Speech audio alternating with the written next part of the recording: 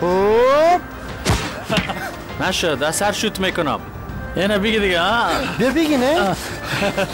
چندان سپورتمن خود نیست اصلا خودت نیستی بچهش. برو بچهش اگه کسی مرم دشار میدون ما سپورتمن می‌شدم. عثمان تو خود دوست مستی مگم نمی‌خوای بگی که چی شده؟ ما من قرار رفتم که اسکری ما تیر کنم. ما تو خود تصمیم داشتیم که در استانبول اسکری کنیم. خودت چرا به انقره رفتی؟ خو نشد. مگه من بازم اینجستم امرای بابیم کار می‌کنم. فکر نمی‌کردم امرای با بیت گزاره کده بتانی. اکثر وقتا نمی‌تونیم ولی مجبور هستیم که حوصله کنیم راستی حادثه دیروز بر بابیت قصه کردی یا نه؟ نه هنوز نگفتیم هنوزم نگفتی؟ نه نگفتم. ای چی سر است که نه. او مرا درک نخواد کرد.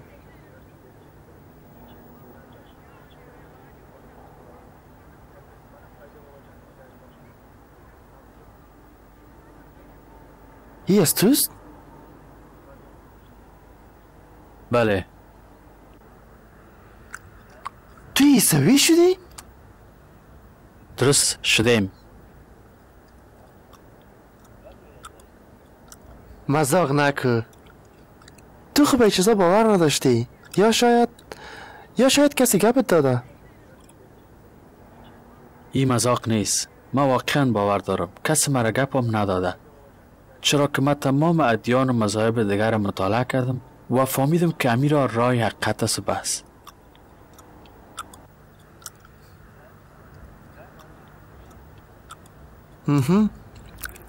خب دیگه من این کتاب دست خورده خدا بگی. ببین خدای بزرگ اجازه نمیده که کسی کلامش تغییر بده. لطفا بر فعلا در این مورد به هیچ کس چیزی نگو. خواهش می‌کنم. خصوصا به بابا و مادرم. خب عثمان حالا تو پیش ما یک راز داری.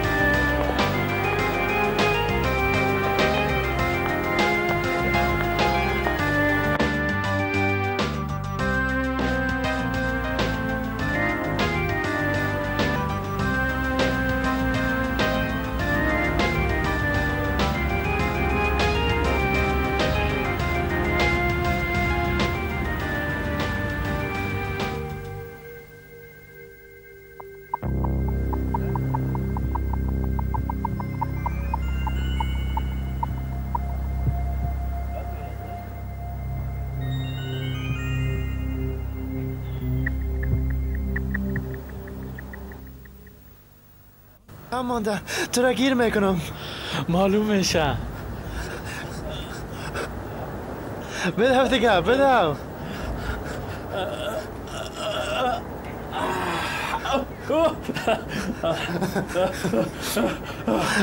ای نگیریست کدام. ای نزن دیگه.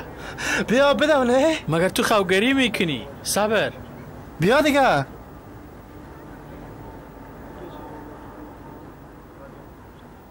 چه یک منظره زیبایی است؟ چشمان خود را به سوی کوها برمی افرازم که از آنجا اعانت من می آید اعانت من از جانب خداوند است که آسمان و زمین را آفرید. آه یک دفعه دیگه بگو. چشمان خود را به سوی کوها برمی افرازم که از آنجا اعانت من می آید اعانت من از جانب خداوند است که آسمان و زمین را آفریده. چقدر عالی این از کجا کدی از کتاب زبور شریف. ببین عثمان این مزمور واضح میگه که خداوند قادر است هر عمل ما را ببینه و ما را از خطر نگاه کنه. خب در مسائل مذهبی تو خیلی جدی استی. بله بسیار جدی. به خاطر که امیر روابط نوم با خداست که زندگی مرا تغییر داده. من نمیفهم که یک آدم مثل تو چطور به چیزا روی آورده؟ بسیار آسان. از طریق رادیو. از طریق رادیو؟ اوه این تبلیغات عیسوی است ببین این مربوط توست که بشنوی یا نشنوی. یادت است وقتی که یک جای درس میخواندیم به خاطر آزادی بیان مظاهره کردیم؟ من نمی‌خوایم گپای خود به زور سر تو بقبلانم. می‌فهمی؟ اما یک وقت زیاد علاقه داشتم رادیو بشنوم. ما پیش از دوران فوکلده را برات قصه می‌کنم. دمو وقتا پیش از که خو کنم زیاد علاقه داشتم که یگان نمت بایدای خوبش بشنوم.